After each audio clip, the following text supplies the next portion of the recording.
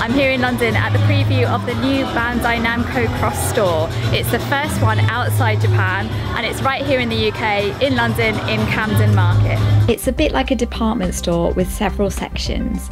There's figures and merchandise from Banpresto and Mega House. There's Ichiban Kuji, the One Piece card game, an excellent stationery section, arcade games, and most importantly, they have Gachapon. I'm going to show you around each section, then I'll show you where the shop is and how to find it in Camden Market, and then some other things you might like around Camden if you like Japanese stuff.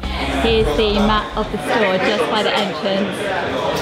I didn't realise it was going to be two floors, but here's the most important part, the Gachapon.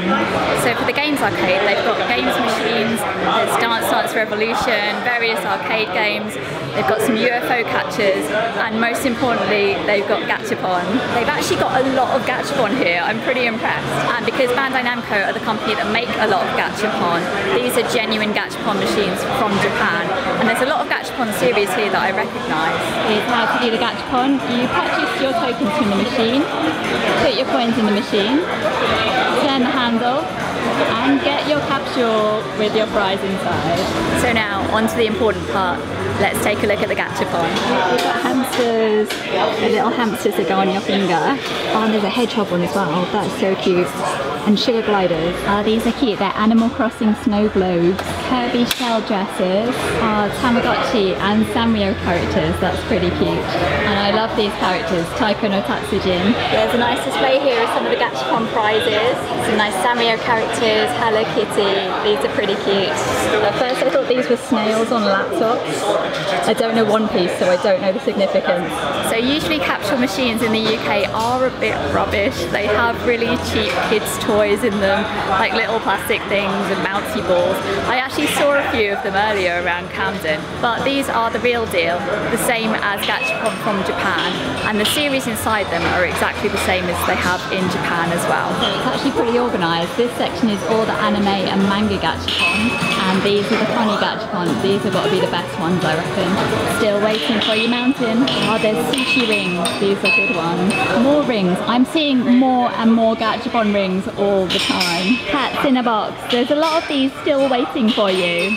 There's series two and series three. Little animal bookmark. What is going on with these cats? They're having fun in the streets. They've got their own gachapon machines in the background. Skateboarding small animals. I like the budgie. Animals in the sauna. And there's a section of living things gachapon. Oh, these are tiny birds that can sit on your charging cord and birds that can sit on your umbrella handle and more rings, of course. Gachapon series change periodically. They're always bringing out new ones, so they won't always have this selection. I expect it will change over time. I think this is Sanrio corner. We've got a lot of Sanrio Gachapon. We've got a lot of Kirby over here all in on the Kirby. Here's where you get your tokens for the Gachapon machines. They take coins, notes, and cards, so that's good if you don't have any change. The tokens for the Gachapon are £2 per token, and the Gachapon are two tokens, three tokens, or five tokens. There's also Gachapon at the Namco Funscape in Gateshead in the Metro Centre, in Manchester in the Trafford Centre, and in Norwich. If you like Gachapon, take a look at the playlists on my channel. There's lots of videos with roundups of the funniest Gachapon and the Gachapon Challenge, where we searched for the best and strangest Gachapon in Tokyo. There's also lots of Japan travel videos and new videos on Thursdays if you want to subscribe. Here we've got a kind of low down UFO catcher that you look down on. There's a change machine if you need coins and it does take cards as well. I hope in the future they'll have more Japanese style prizes in the UFO catches. They do have plushies as prizes in Japan, but at the moment these seemed more UK style. Although still better than some, like these I spotted elsewhere around Camden. It says Miffy's coming soon, I wonder what that's going to be. So let's see what's upstairs good to see they've got a lift as well as the stairs if you don't do stairs. Upstairs is larger than the ground floor and is more focused on shopping. There's a section here where you can buy games. So they've got PlayStation, Switch and Xbox. Now Now this is exciting. There's a little stationery shop and you know I love stationery. It's Mofu-san. Mofu-san was everywhere when I was in Japan earlier this year. I think you can see why they're pretty cute. What have we got here? Corner cutters. So they're little punches. You can cut shapes on the corners of pages. What is this? It looks like a pen. It's actually a pair of scissors. Teeny tiny sticky notes. Gotta have washi tape. Ah, it's a punch for cutting little finger holes in the edges of paper. I never knew something like that existed. Metacil, a metal pencil with a metal lead that can write and erase. So pretty pastel colours. Three rolls in one, so you can draw with one colour, the other colour, or two colours at the same time. Pens that make it easy to draw pixel art. These colours are so pretty. Roller stamp pen. Wow, it's got a little wheel so you can draw a dotted line or a curvy line. Everyone else is playing the arcade games. I'm just excited about the stationery section. Oh wow, it's a hamster shaped desk cleaner. That is so cute. And it's so fuzzy. We've got a little shop of figures. This is just like a department store but with all anime stuff. These are some big boxes. They take up a good amount of suitcase room if you bought them in Japan. And because this is Bandai Namco, you know that everything is genuine, official merchandise. So Ichiban Kuji is a thing they have in Japan, but you don't often see it abroad. You pick which cabinet you like the look of, you buy one of the tickets, you pay for it, and then you reveal which prize you get. And which prize you get is which letters on the ticket. So it's a bit of a mystery, but you do always get something. From this cabinet, you know you're always going to get something from Naruto, but you don't know which one. This one's coming soon, a whole display of Kirby prizes. You might get a clear file. I knew one of them had to be a clear file. Or you might get figures, or this mask thing. You might get a towel, or a keyring.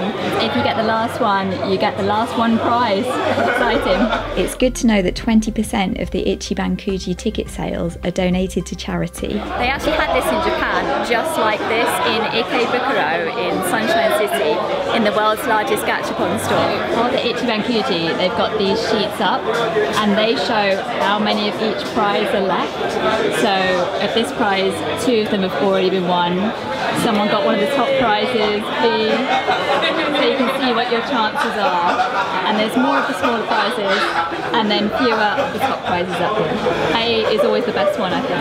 So if you see this is almost full up, if you buy the last ticket, you automatically get a special prize. All the Ichiban Kuji tickets are £14. If you win one of the small prizes, like a keyring or a clear file, that's not so great. But you might win one of the big prizes, like one of the really big figures. So it's a risky game. There's a cafe with hot and cold drinks, paninis, sandwiches, and they've got mochi ice creams. Mm, these look delicious. Passion fruit and mango, creamy coconut. Over at this end section, they've got one-piece card games. So you can buy cards here, and there's also a section where you can play. So they've got all tables set out. I think they're doing some interviews in here at the moment, so I won't disturb them. So there are four Bandai Namco cross stores in Japan. There's one in Tokyo, in Ikebukuro, in Sunshine City, which is right next to the world's largest gachapon store. I think I went there just before it opened, and they just had loads and loads of UFO catchers. There's also one in Yokohama, near Tokyo. There's one in Osaka and there's one in Fukuoka. The cross stores in Japan are quite new, so I was kind of surprised they were opening one outside Japan already. And I was even more surprised when I heard it was in London, but I am glad because it means I can go to it. It's in Camden Market, which is a bit of a maze, so prepare yourself to get lost and just enjoy exploring. There's loads of other shops here, loads of places to eat, lots of street food stalls, and there's a few other stores you'll like if you like Japanese stuff. Look out for Japan Craft, which has a large anime merch store and a traditional Japanese craft store. There's lots of Japanese food, both stalls and restaurants, and lots of other interesting places. Allow plenty of time to look around because the markets, especially, are a maze. To get here, take the Northern Line on the tube to Camden Town, walk all the way up Camden High Street until you get to the big bridge that says Camden Town. Go directly up to the bridge, turn left, go through this little archway of street food stalls, and there you are. I used to come to Camden a lot, but I haven't been here for a few years now, and it's so different. I've always thought of Camden as kind of the Harajuku of London because it's known for alternative fashion. That's not really so much the case anymore, but it's still a fun place to visit, and it's interesting to see how it's evolved. Obviously, when you've been to Japan and you know how much things are over there, it does seem quite expensive, but everything costs more in London than in Japan, and you're paying for all this to be imported around the world. And if you don't have the chance to go to Japan, it's great that you could have this experience in the UK. It's nice there's another little bit of Japan over here. Now we've got this and Coco Curry, we're on to a winner. Thank you to Bandai Namco for inviting me to the preview. If you go, let me know what you think in the comments, and I'll see you next time.